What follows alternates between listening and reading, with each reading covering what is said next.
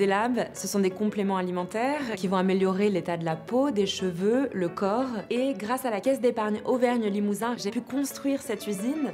L'objectif, c'est de créer un pôle de production plus respectueux de l'environnement. Des projets comme celui-ci euh, créent de l'emploi et nous sommes très fiers d'accompagner des entreprises euh, engagées et responsables sur le territoire. Caisse d'épargne, vous êtes utile.